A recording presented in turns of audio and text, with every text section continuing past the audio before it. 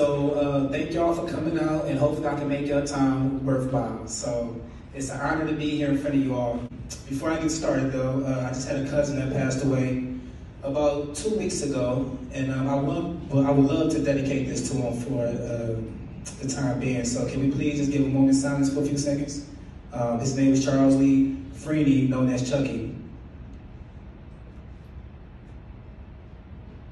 A lot of people want to know, where did Leonard come from?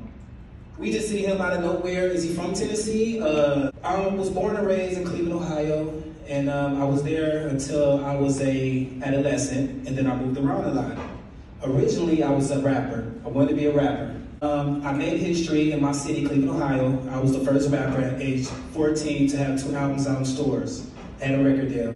But going forward, um, I moved to Atlanta in my early 20s.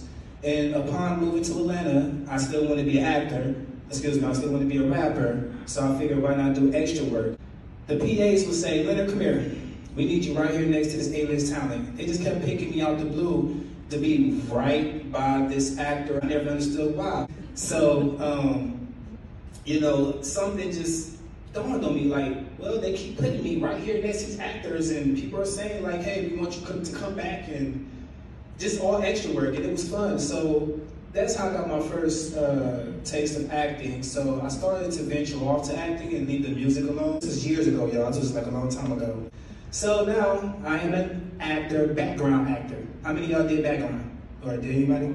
Okay, so y'all know, you know, that's how you start off. A lot of us start off as extras.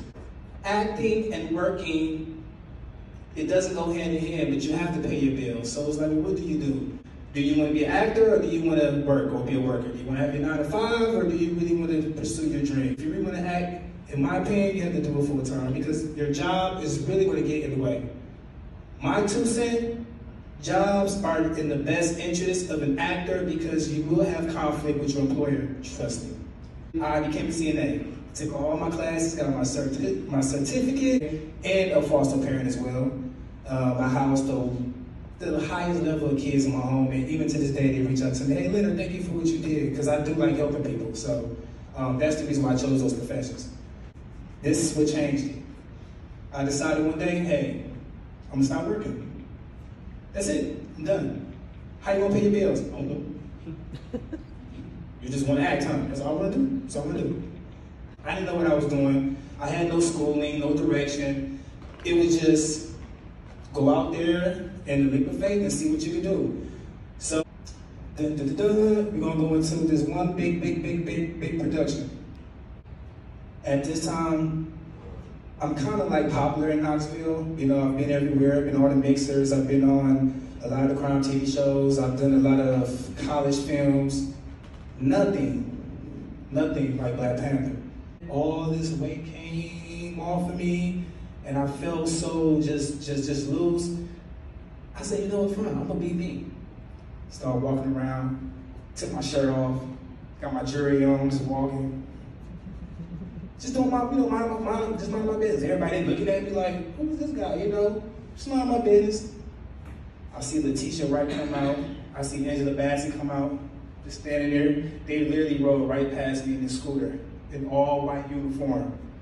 I just nod, and it pours down raining. I mean, everyone gets drinks, everyone gets wet. So we all run into the tent, huddle up under this tent, first time. Now I'm huddled up, I'm bumping somebody, turn to come by, I mean, turn, you know, I turn around, come to find out, Angela Bassett really right behind me. I said, oh, sh oh, I'm scared. but be Leonard still, be Leonard, I got this, I'm Leonard, man, I don't care about this, I'm just trying to get out the rain.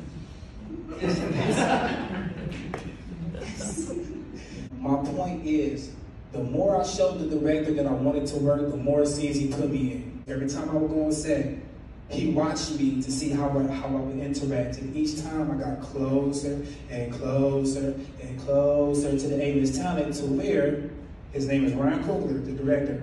Leonard, take this plate, take it to Shuri. Shuri, you tell Leonard thank you, and you put the food down, you go and try to say to Charlotte. They had me running around that whole science scene like crazy, getting food, it's uh, being security, but they only kept the one that, I don't know if y'all seen, but um, it was just a blessing to be there because that wasn't planned. The director specifically pulled me out and had me to be on that mark and to shoot the scene. I'm gonna tell you what happened that day too. So it's uh, July 14th. One of the PAs come grab me and say, Leonard, go on set, right? I said, okay. So I go on set. Did you not? It's Letitia Wright, Ryan Coogler, and, uh, somebody else. I, forgot the, uh, yeah, I forgot the other actor's name. But um, they all standing, they waiting on me. They stay just standing there, just just standing waiting. So I get on set and I'm like, dang, you know, and I'm nervous now because I don't know what's going on. We got the news people all behind us with their little notepads and pens and they writing. And I guess they're looking at me like, oh, this new guy coming in. You know, they're just writing. So so the director, Leonard, stand on your mark. So I come, I stand on my mark. Now I'm getting nervous because I'm like, I'm about to speak? I think I'm about to talk, y'all. The PA dude, he comes, he's like, hey, Leonard, you might get it, man. Stay sharp. My goal and my uh, assignment was to be a scientist and a security guard scientist. So I didn't do anything else. And um, they just kept that one scene in there, like I mentioned. But um, my experience on that was fun, though, y'all. Um, I got to meet a lot of people. They embraced me. We had a, a, a blast. They called me friend. Like Shuri, she's like, hey, y'all, hey, friend. You know, I was her friend. And um, you would thought that I was cast as a regular, you know, actor, actress, but I was really a background to show the director, hey, I'm here to work. This is what I want to do. And he granted me that. We did that about 50 times before they actually got the right one.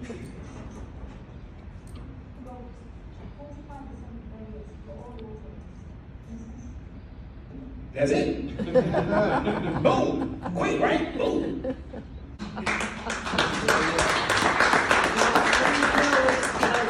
to that first email. What, what do you think it was that got them to notice you? So, like I mentioned, I did extra work before. So I worked with, I don't know what production, could have been Big Mamas, but it was one production I worked with them in, and like I said, it's how you carry yourself. It was like, this guy was easy to work with, he came on time, he did his job, call him, he made me interested. That's why I like acting so much, because it's self, I, you can pretty much get to find who you are, your strengths, your weaknesses, and what you're made of. It's an identity thing, and once you get there, all you gotta do is just sit back and here come everybody coming. You know, and that's my goal. You know, I don't want I should I don't want to go out to audition anymore. My name itself should bring people to me, and I feel like that's what you want. Appreciate the uh, question. Mm-hmm. Who's the referee? Tell him. All right, y'all. Tell him, or I'm gonna say laugh, it. Y'all, y'all ready? All right. It was Lynn Bone. it was because they called my dad that, and I was a junior. So I was like, Lil Lynn Bone. So I took the Lil off because I tried to be like, you know what I'm saying? I'm Lynn Bone, you know. but yeah. What's your three-year goal? Be on Netflix. I would love to be on Netflix, even though I'm on a series. You know, um, I prefer just an indie film, but I don't care. You know, just Netflix for Yep. sure. Netflix. Or just a streaming, I, Streaming, there you go. Streaming Streaming, service. streaming service, correct. Boom. I work out, I eat right, I try to motivate. All this is part of the identity thing as an actor, you know. Um, you have to give back, you know, for what you receive. A lot of people look down for me, so I try to do the same, you know. So that's how you get your blessings in the industry too, is giving the helping hand that needed because someone helped me. And like with that director on Black Panther, I mean, he literally didn't know me. It was nothing for him to grab me and say, you know, we don't want him or, or we did, or we, we don't want him or we do. It wouldn't change his career, you know. He's still making millions. I mean, Ryan Coogler is one of the top three biggest director in Hollywood. It was nothing to come get old Leonard to do this stuff, but him helping me is my way of helping y'all because he didn't have to do that. The director did that. It wasn't the casting company, it wasn't anybody, the director himself said, just put him in here, we're gonna write him in this. That wasn't supposed to happen, you know, just me showing that I wanted to work, showing that I was available. And listen, y'all, I'm on set, motivating everybody to work out. I'm sitting there doing push-ups and dips. Next thing you know, I didn't even know. Someone gets right beside me doing push-ups with me. I didn't see who it was. Back that we were done, I get back up and I go over to like the other scientists, uh, actors, and Leonard, do you know who was just right there? What you doing push-ups? Ryan Coogler, man. In between setups, we talking about working out, you know? Or I can do 30. I can do 35. Well, let's see, let's see, you know? So, um, yeah, you know, it was just me being who I am, and I advise everyone to be who they are as an actor. Because you only get one of you. the first Black Panther, people said it was really unique and inspiring to be on a black set where every, the majority of everybody there is African American. Did you have that vibe? I did. Being honest with I did. We were playing rap music, and it was a cultural thing. You know, we all got pinks in our hair, afros. You know, we all come from the same like type of community. I felt like like family for that little, you know, at that specific small time. You know, even though we may not see each other ever again, you know, but just for that moment, yeah, it was all love and family. You know. When you got your goal, and your mindset on something, honestly, nothing else really matters. You know, is if you want to get there or not. I hate to say it like that because it may sound brutal, but that's the only way that I know. You know, I sacrificed really my life to be in this industry and I don't regret it, you know, because at this point now I'm working consistently in this industry. I look for ways to grow and mature and become better and better and better. And whether I'm on YouTube, working out, networking with people, shaking hands, don't matter. I'm just out here. So, yeah. And you lead by example, There you go. Thank you. Thank you. see it on your Facebook page. And if y'all don't know me, you can look me up on Facebook, Leonard Freeny, Freeny's F R E E N Y. I'm all on there. And then um, I just did one uh, scene with Vivica Fox in, in Atlanta like last month called House Sitters 2. Um, it should be coming out soon. Appreciate y'all. Appreciate, appreciate y'all listening. Thank you guys. Thank you very much.